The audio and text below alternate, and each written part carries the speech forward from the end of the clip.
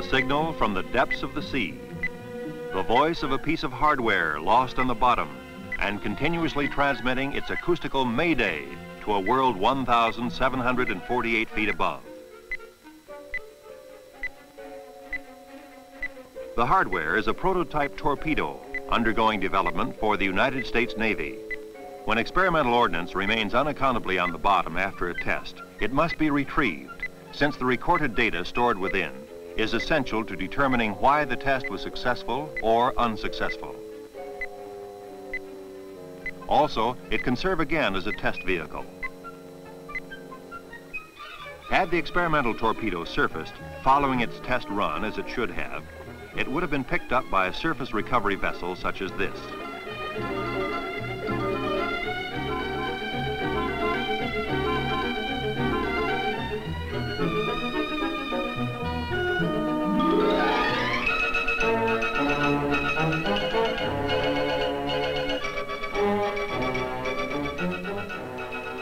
When the torpedo sinks to the bottom, these boats are used to help determine its position.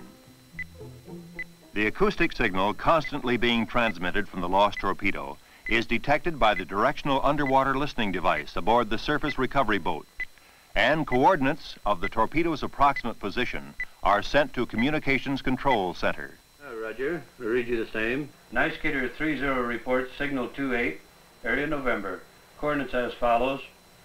33 degrees, 29 minutes north, 118 degrees, 07 minutes west. Over. Night Skater 1 is Night Skater 27. Roger, out. Come to course 045. 045.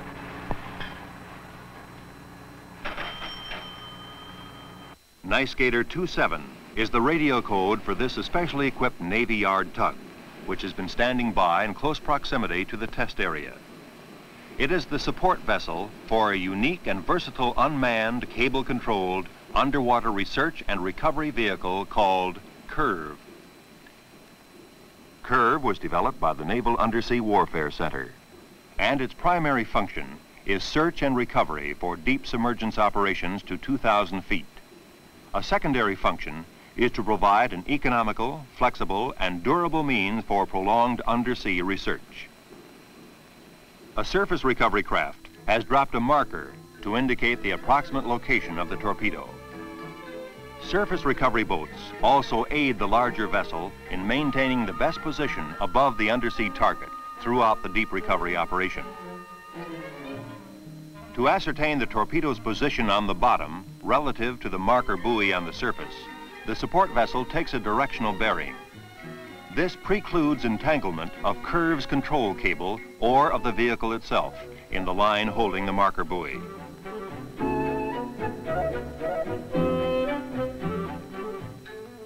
A complete checkout of CURV specialized components is made immediately prior to launching. Larry, you ready for your deck check? Let's check it out here. Hello, deck. Hello. We're going to do our deck check, vertical motor first. Roger. Vertical motor down. Vertical motor down. The propulsion units are powered by 440 volt, 60 cycle, 10 horsepower motors, which are controlled by three-phase variacs. The marine type motors have been encased in oil-filled, pressure-compensated housings to provide a silt-free environment. Starboard motor astern. All right, TV left, TV left. TV right. TV right. The hydraulic system that operates the tilt of the sonar, the pan and tilt of the TV and photographic equipment, and CURV's versatile claw is a pressure-compensated system that provides a 750 psi working pressure at all depths. Claw open and closed. Claw open. Claw closed. CURV's claw can be replaced by a grapnel device, a snare, or a clamshell. Control of CURV is accomplished from the console.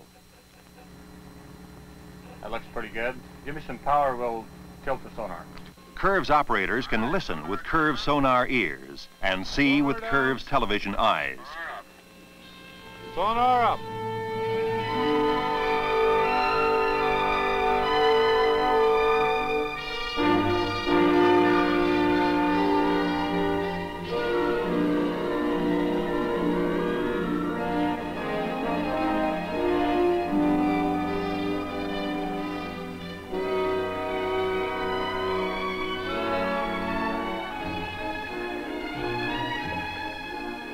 CURV's operators remain safe on the surface of the sea, while CURV is sent into the depths, where it can be maneuvered and made to perform intricate and difficult tasks that are often beyond the capability and endurance of a manned submersible.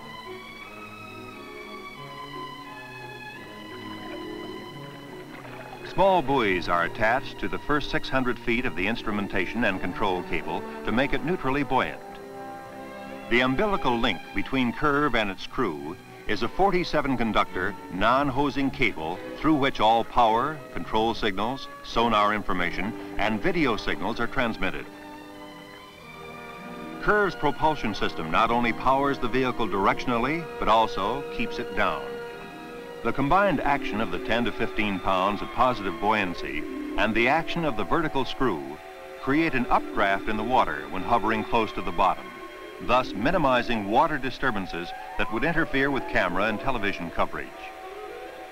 Each of the three motors can develop a forward thrust of 400 pounds and a reverse thrust of 200 pounds. The speed with which CURV descends in the water is determined by the time it takes the crew to handle the cable. It has been found that the average time for a 1,400-foot descent is 20 minutes. 1,700 feet below them, a swimming robot does their bidding.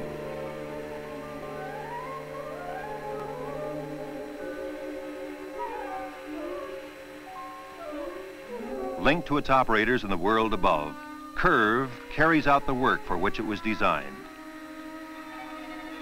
A path blazed by sound leads across the ocean floor.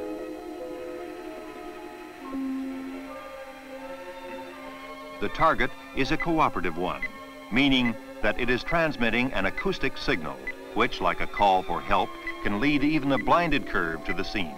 But CURV is not blind. Its constant transmission, frequency modulated sonar, receives 9 and 45 kc signals to provide target bearing information. Monitoring a 9 kc signal on the sonar scope, CURV's operators determine the bearing of the strongest signal.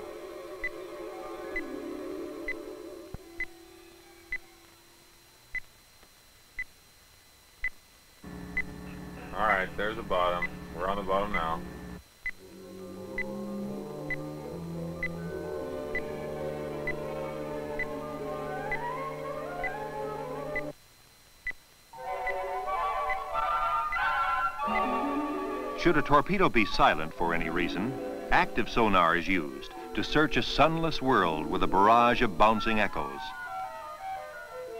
However, using active sonar to find a silent torpedo can be particularly difficult in an area as cluttered with lost and unwanted objects as is the channel between Long Beach and Catalina Island.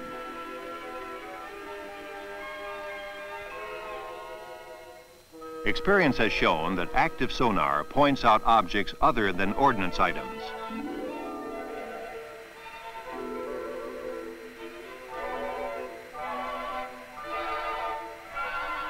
Topside, they are running out of daylight. In the depths, it is always night.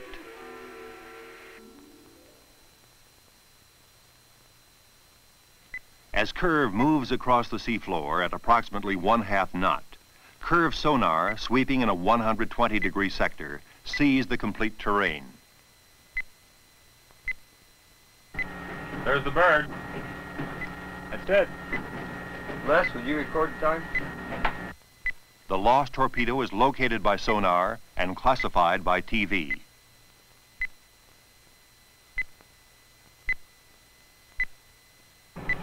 This looks like a good approach, Les. You want to pan the TV just a little right so I can see the claw. Okay.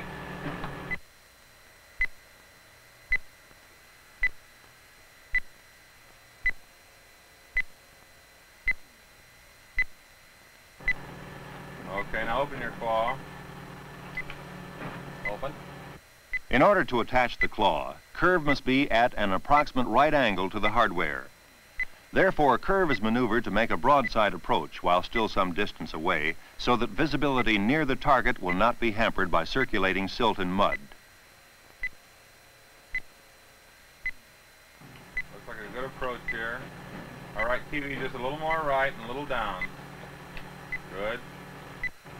Good, you've got the claw on it. Now close. CURV has extended man's hand deep into the sea, provided it with intelligent direction and Herculean strength. I'm going to try and just ease up a little bit. Keep closing on your claw. That looks good. That looks real good. Bob, it looks like we've got a good hold. That looks like a real good attachment. Let's bring it up. All right. Coming up now. CURV is able to recover hardware weighing about 200 pounds in water using only the power of its propulsion units. Loads to 500 pounds have been brought to the surface from relatively shallow depths by manually hauling in the cable. Ejection of the claw and a marker buoy enables surface recovery of heavier loads.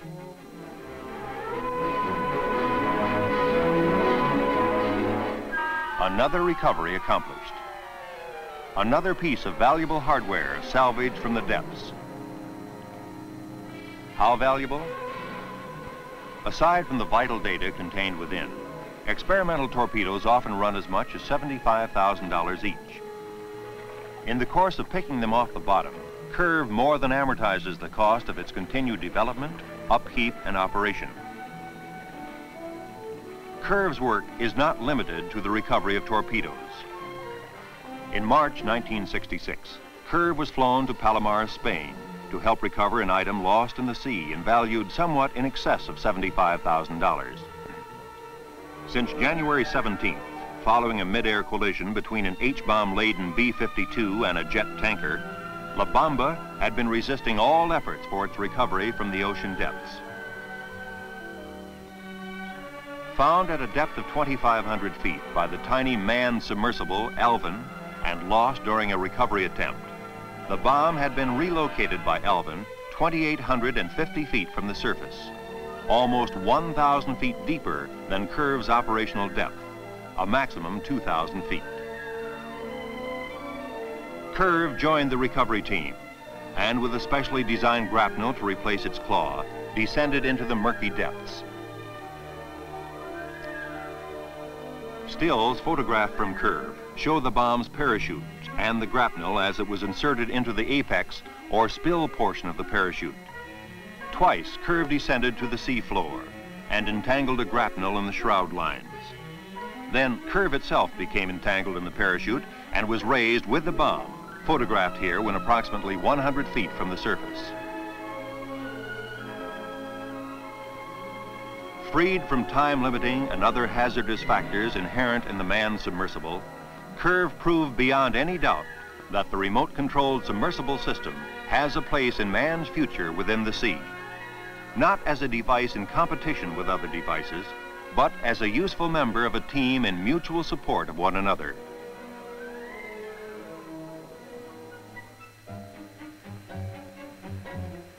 Man has been described as standing on his earth and reaching for the stars.